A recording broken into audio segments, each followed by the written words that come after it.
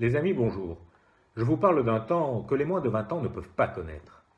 Karou, de Steve Tezich, se situe au début des années 90, après la chute du couple Ceausescu et du mur de Berlin. De chute, il en est précisément question dans ce roman, où l'on suit Karou, le personnage principal, dans une perdition qui semble ne pas connaître de limites. Professionnel reconnu pour son activité de script doctor, c'est-à-dire de réécriture de scénarii pour Hollywood, de réécriture ou de massacre, selon les points de vue, dans sa vie personnelle, ce quinquagénaire s'ingénie à s'échapper à lui-même en faisant preuve d'un cynisme assumé, de lâcheté et naturellement d'égoïsme. Menteur invétéré, il affirme sans rougir, je cite, Les mensonges étaient mon lien ultime avec mes congénères. Dans le mensonge au moins, les hommes étaient tous frères.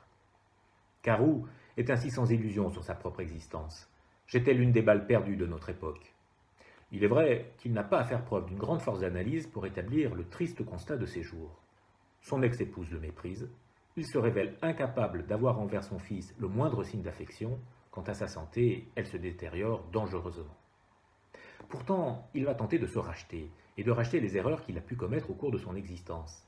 Mais hélas, plus il va essayer, plus il va chuter et enchaîner catastrophe sur catastrophe, tout en espérant, en bon script docteur qu'il est, que la vie lui offrira une happy end.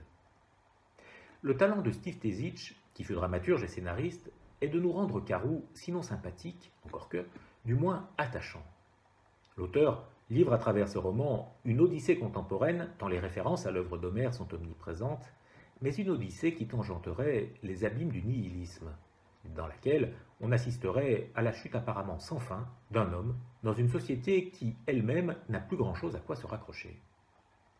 Comment, alors, ne pas penser, en lisant ce roman, écrit sur un ton cynique, drôle, avec un humour ravageur, mais aussi désespéré, au anti-héros d'Henry Miller, de Bret Easton Ellis, voire de Selby.